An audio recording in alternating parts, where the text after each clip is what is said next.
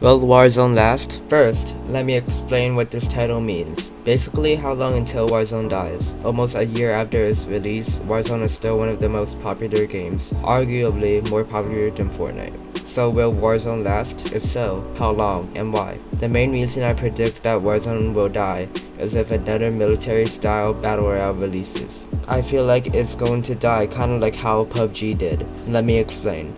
PUBG fell off in popularity once Fortnite became the next best thing.